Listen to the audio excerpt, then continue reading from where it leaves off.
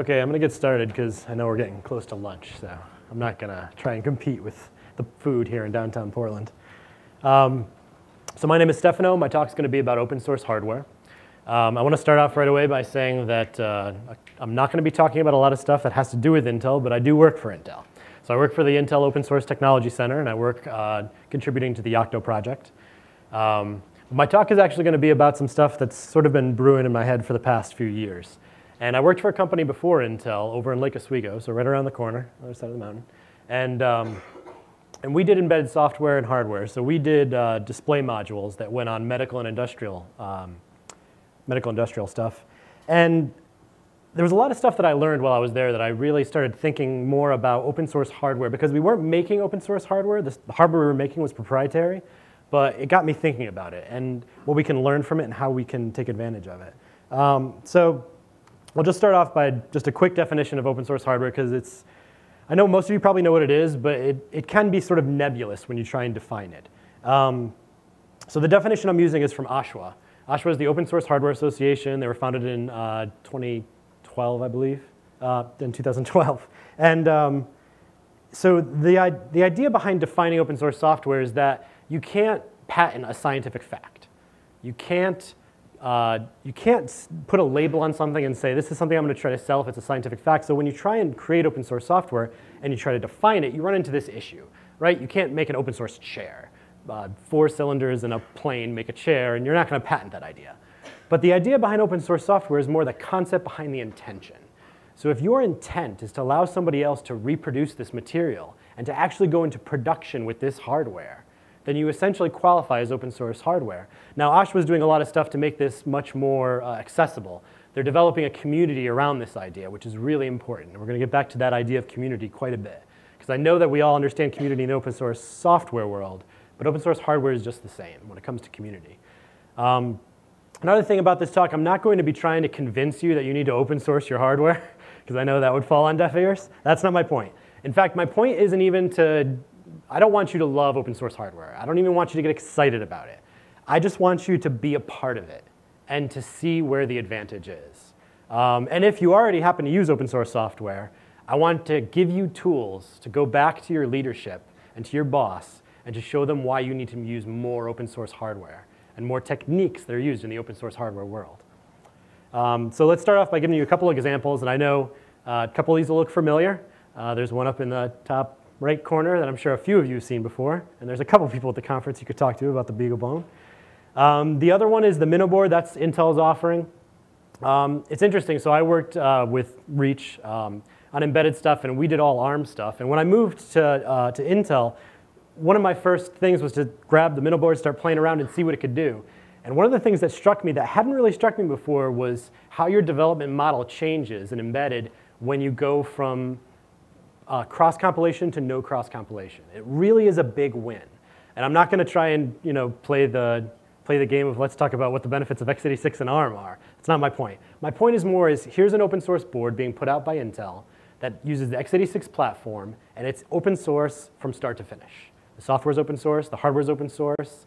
Uh, the latest version, I believe, is going to be Class B certified. So and I know a lot of you will know that's a big win. So here's a piece of software that you can go get the Gerber files for, you can go get the schematics for, and it's completely open to do whatever, what you will with it. And I'm also not going to get into licensing. I know licensing is a big thing, but I'm not a lawyer. And I can tell you that there are definitely licenses out there that are more permissive than others, much like software, um, but I'm not going to get into that. Um, so then the last one I want to talk about a little bit is the Olimex. Olimex is the one in the bottom center. And I know a lot of you probably haven't heard of Olimex. In fact, could you raise your hand if you have heard of Olimex? Oh, nice. That's a pretty good crowd. Awesome. Yeah, I always think of Olimex as creating some of the best open source software from a company that you probably haven't heard of yet. Um, so uh, Tsvetan, I think it's Tsvetan Usunov, which I hope I didn't murder his name, uh, is, is the head of Olimex, uh, and they're in Bulgaria. And he's actually been running that company for 25 years. So he's been doing this for a long time. And one of the reasons it's up there is because I wanted to talk about his process. Uh, he gave a talk at a, at a Hackaday conference recently where he described his process as open source from development to production. And that's an interesting concept because, like I said about open source hardware being all about the community, at the end of the day, if you're open source from your development all the way to your production, then the open source community has a say from when you start developing all the way to when you finish it. And if you use what you already know about open source communities, that means that you gain the knowledge that all those people have right from the get-go. So when you're designing your board and you say, oh, I think these are my requirements, well, see what the community has to say about that, because that's your guess at what your requirements are. But then watch what your community has to say as you move forward, and see if there's maybe requirements you hadn't thought of, or something you could have pulled out, some I.O. you could have pulled out that you wouldn't have thought of. So Olimex is a great company. Check them out. There's a few other companies that I'm sure a lot of you have heard about. Um, so I'm not telling you anything new here, but you know I have to give props to those who've done a great job. There's also, um, if you go into the big room in the middle, there's uh, 96 boards. They're doing a great job too. So a lot of people are starting to realize that we all implement SPI. We all implement I2C. Like we can share these things. These aren't the core competencies of our companies. So there's a lot of value to be gained in the open source community, and if anyone ever says, well, open hardware, how do you make a profit doing that? I would tell them to go talk to the folks at SparkFun. I'm sure they'll have something to tell you about how to make a profit using open source hardware. Um, but again, this all comes back to the communities, and I think this is the big question that I, I want to be able to answer for you is, I, I know about open source hardware, I've been using open source hardware, how does it help me? Who cares? What do I, what do, I do with this information? Well, so I've been at Intel now for a year, and one of the things that they say quite a bit at, uh, at all the company meetings is they want to concentrate on innovation. Innovation is a huge thing. It doesn't matter if you're a giant corporation of 100,000 people or you're a tiny little startup. They'll always talk about innovation. And the key to innovation is creativity. Now, I realize that creativity can be really hard when you're sitting in the center of four beige fabric walls. But regardless of what your desk space looks like or where you work, open source hardware opens the door to ideas that are new. And anytime you can do that, you're feeding creativity. So by ignoring open source hardware, you're going to ignore all that possibility for creativity. Um, and it also gives you the opportunity to try things and fail. And really, by trying things and failing, we learn that way. That's how we all get started, right? Anyone in here who programs, and I'm sure everyone would raise their hand if I said that, um, everyone started by failing. You write some code and it doesn't compile, but that's how you learn. And it's the same with hardware. So what I'd like us to do is try to think more like makers. And I know that especially in anywhere from large corporations to even standard businesses will sort of poo-poo the maker movement and that and to be like, well, you know, you have to, in production, you have to have things that are available for 10 years and there's a strict standard that you need to follow to do all this stuff. But that maker mentality, that hacker ideal, that's the thing that breeds creativity. So while yes, some of the stuff should not be put into production that you see on, you know, on the maker websites, at the same time, that core idea of how to be creative and change the way you think is what we're missing in business. So one of the things I like to say is hack your proof of concept. So when we sit down and say, all right, I'm gonna, I'm gonna start this proof of concept for either a new product or maybe an addition to a product that already exists, what's the first thing you do? Because it shouldn't be document and have meetings and theorize and research. All these are good things. But the first thing you should do is hack something together. Because just like programming, hardware is the same. Once you hack something together, make some mistakes, you're going to see things that you didn't see before. And I'm going to, later in this talk, I'm going to talk about ways that we can do that given the cultures that we work in. So whether it be big corporations or even medium and small sized companies, there's lots of ways you can do this. Um, another one, uh, open source hardware is free, as in freedom, as in speech, that sort of idea. Um, there's tons of knowledge to be gained. I just mentioned research. The amount of research you can do on your own without taking advantage of somebody else's work, forget it. But take somebody else's work, what they've done, that they've open sourced, and learn from that, and you've just quadrupled the amount of knowledge you have, especially if the hardware is even related to what you're doing. Um, often we learn because other people show us the way to go and then we try soldering something to that thing and seeing what happens. And even if it blows up and you let the magic smoke out, it's still something that you learned. Um, and the last one, I had to use an acronym because I work for Intel. So always be creating. Part of that process is not thinking of the prototype stage as ending. Don't think of your proof of concept as being just one thing. Make it be 10 things. And even if the customer didn't want one of those things, try it out and see how it works. So let's talk about a couple of people that I see doing this in, in the public sphere today. So Open Source Lab is a book by Joshua Pearce. He's a professor at Michigan Tech. If you haven't gotten this book, I highly recommend you get it. Now, why am I talking about a book about research where I'm, actually, raise your hand if you're in medical research right now. okay, so we got one. Um, so I worked at OHSU, Oregon Health and Science University, right up in the hill, so I've done medical research, if you could call it that. Um, but the idea I'm trying to get across here is applicable to all walks of life in the electronics and technology industry. Um, he talks about how to take advantage of digital design sharing and specifically using things like Arduinos and RepRaps. Now, and RepRaps are just 3D printers if you haven't heard of that. So the idea here being take advantage of whatever's at your disposal to solve the problem that you need to solve. So one of the things I noticed when I was at the uh, university hospital was that a lot of times the tools that I needed were needlessly expensive. So one of the examples I'm going to use from this book is the Dremel Fuge, partly because I love the name, because I have a Dremel on my desk. But here's an example of something with a very high perceived value, a centrifuge. A centrifuge must be expensive, right? That's gotta cost a million dollars, right? Maybe a couple hundred thousand. But the idea being that yes, if you're working in a medical research facility, you might need that tool. But if you're working in a school, you might just want a centrifuge to show the students how that works. But you're not going to want to pay $300,000 for one. So the idea that this book brings out very well is sometimes the tools you'll need are right around the corner. You just need to find the right open source avenue to take. And in this case, the Dremel Fuge is awesome because it's basically all you have to do is 3D print this little piece and then go to Home Depot and buy a paint can. And for you know the cost of a Dremel, 100 bucks, give or take the cost of the paint can, you've got yourself a centrifuge. So solving problems in innovative ways sometimes means using things that other people have, would never have thought of. So you have to dig through wherever you can to find these little tricks. Um, so another, another great book, um, which some of you might know, is Building Open Source Hardware by Alicia Gibb. She's the executive director of OSHWA, the, uh, the nonprofit that I mentioned at the beginning, and the CEO of Lunchbox Electronics. And she wrote this book, which is a great read for anyone who's interested in open source hardware. It sort of goes through the history and the design process, but it also touches on derivatives, and that's something I wanted to talk about a little bit.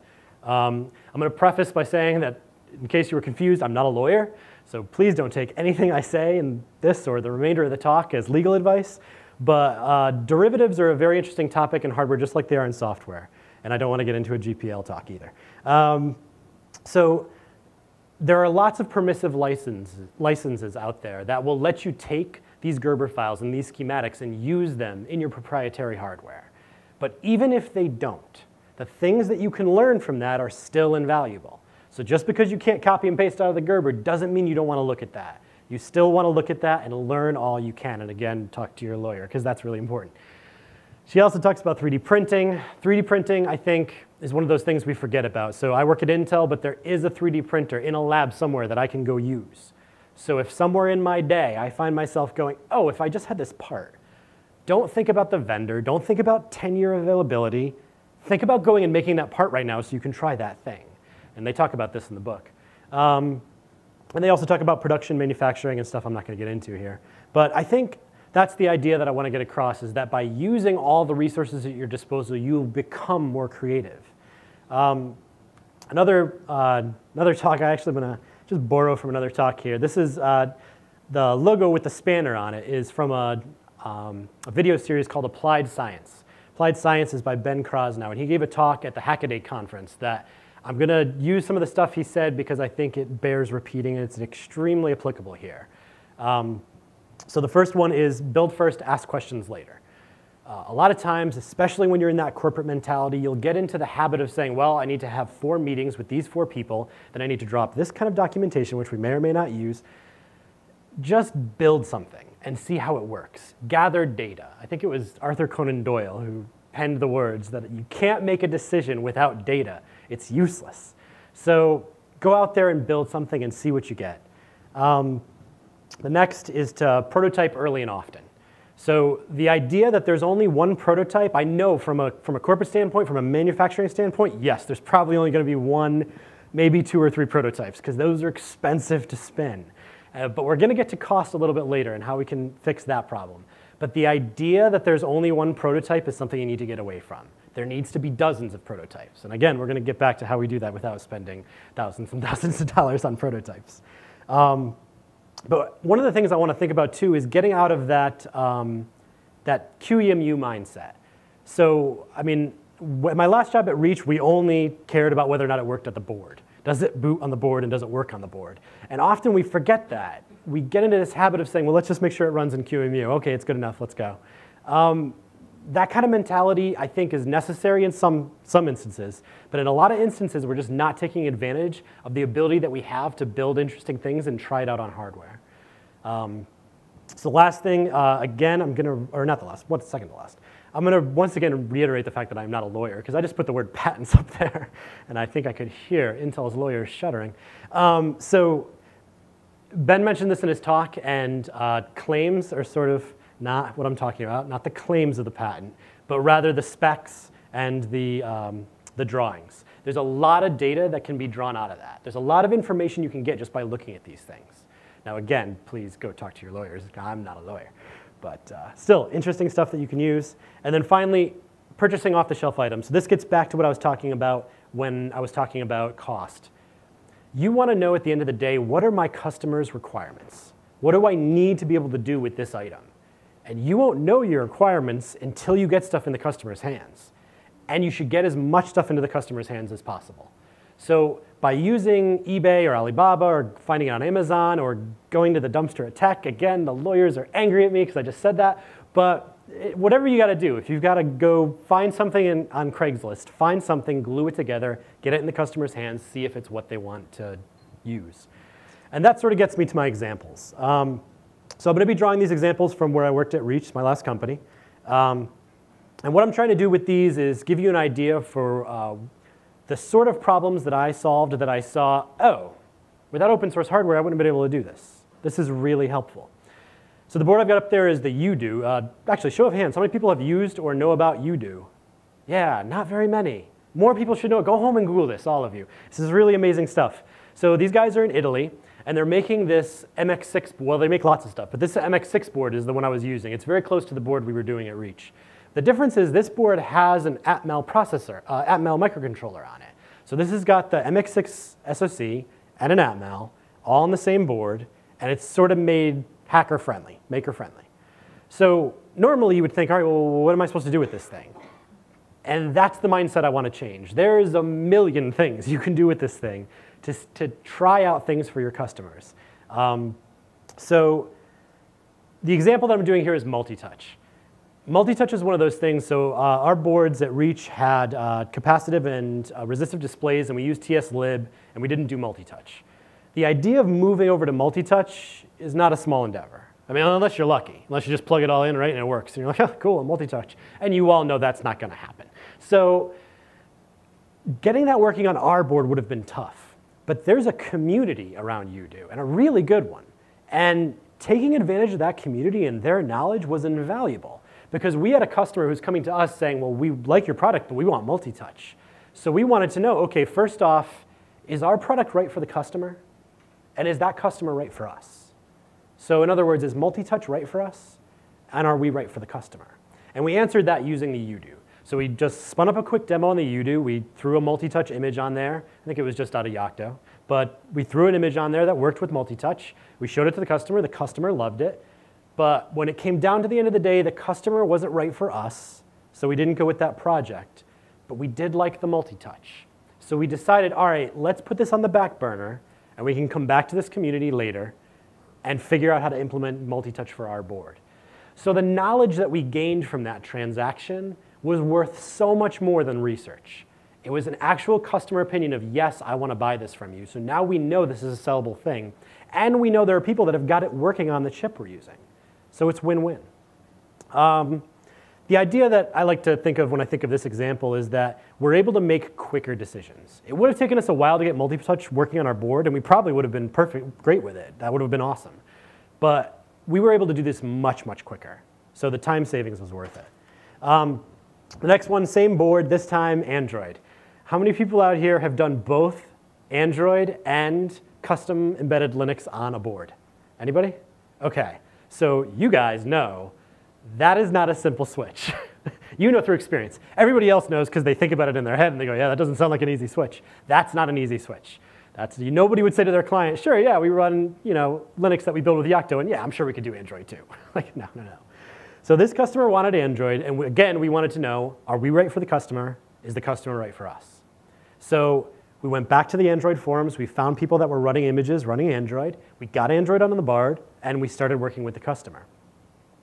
Now this is interesting because my boss at the time hated the idea of Android. He's an old school, he was an old school embedded guy, so Android was like the last thing in the world he ever wanted to put on a board. But as soon as you get a customer with enough units, suddenly it's an interesting idea. so by being able to do a demo with these clients, with Android running on the UDOO, we were able to see that not only were we not right for the customer as a, as a company, we didn't want to be in the Android space. Now, the reason why is because we would have had to have hired a headcount, which means we would have had to go out and get the funding from a client to get that headcount to support Android, because none of us were good enough with Android to be able to do it. So by using this as an example, we learned that we didn't want to add that to our core competency. And that took zero meetings, zero dev time. Our hardware people had to do exactly zero hours of work, and we knew Android not for us. So I'm not saying don't use Android, don't get the wrong impression, but we learned something really quickly and didn't have to spend any cycles on it. So when your boss says, why should I use open source hardware or why should I let you use open source hardware to do proof of concept, tell them, well, would you rather the hardware guys start spinning cycles and they could try stuff out? Because I'm sure that'll sort of connect the dots for them. Um, so the last one, Different board, same idea. Uh, this is the Wandboard, and I don't know anything about its open source status. The UDOO, you can go online and get the Gerber files and the schematics and all that lovely stuff. I don't know about the Wandboard. I do know you can get the schematics, but I don't know about the rest. But that's okay, because the, the point I'm trying to make here isn't about uh, so much needing the Gerber files or anything like that. The idea here is between how do you debug something complicated without doing a whole lot of work? It just sounds like I'm trying to sell snake oil, now that I said it. but what we did was we, we mocked up, um, we had a customer who um, was using our prototype. We had already reached the prototype stage, we had spun a board, and we were showing it to customers, and we ran into an issue with the PHY. We were using a Micrel PHY. All right, so anybody who's been in the situation where you got your prototype, something's going wrong. You're about to like break out the checkbook, right? We're gonna need hours of development work, hours of hardware work. This is gonna be hard. So what we did is we saw that, all right, well, you've got the Wandboard out there, and the Wandboard's using the Atheros PHY, and the UDOO is using the Micrel PHY. So, well, a PHY is a PHY. Why are they using different PHYs? So you start digging into those communities, into the forums, and you'll find other people with the UDOO are having the same problem. So with exactly zero hours of dev time, and exactly zero hours of hardware spinning or debugging, I don't even know how you debug a PHY. Can't imagine it's fun. but without doing any of that debugging, we found a possible cause to our errors, a possible cause to our bug. We swapped out the PHYs on our next prototype rev, we used the Atheros, and it worked fine. So using this example, this is the perfect example of how community is invaluable. Without those forums on the UDOO site saying, yeah, I'm trying this and I'm getting the same thing. Oh, yeah, here's the thing I did to fix it. I just threw this in the kernel config and now it works fine. And you know, it, it works fine in that it's slower and seems buggy, but I think it's okay. And we were like, okay, bye PHY, hello new PHY. like, so that, that transition was so much easier because of that community. So not taking advantage of these communities just seems crazy to me. Go out there and try it. Um, so this is sort of the point I'm trying to get across is that there is all of this information, all of this knowledge out there. And if you don't go out there into the wild with, with that knowledge, you're just missing out. You're just not going to have something that somebody else has. Um, and if you think that the world acts like it does in the four beige cube walls, it doesn't. Outside, people will experiment with different things that you didn't think of soldering together. So if you think your problem is really unique and nobody else is doing this thing, go check out the forums. Somebody out there is doing that crazy thing you're doing too. So I've talked a whole lot about uh, the good parts of using open source hardware. Let me give you a couple of quick pitfalls that I ran into so that you guys don't make the same mistakes. Um, the first one is confusing the customer. So uh, it's always a great feeling when you get to open source something. So I wrote a program that interacted with our boards at Reach. And I realized one day, you know, this program interacts with our boards. The customers all use it. I'm just going to put this up on GitHub. Why not? Let's make it open source. I mean, right? It sounds like a great idea. I mean, we're all on the same page, right? This is a Linux convention. So I put it up there and I was like, all right, I'm feeling good about myself. I'm like, hey, look, I'm an open source programmer. This is really cool. Took about three days and tech support was sitting next to my desk and saying, hey, so why is this on GitHub? And I said, well, because, right? I mean, nobody cares. This is just code that interacts with our board. Who else is going to use this? This is cool. And he's like, no, no, no, no, no. Customers are going to GitHub and downloading the wrong version.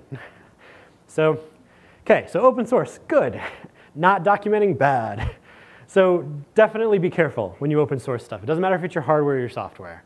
Document, document, document.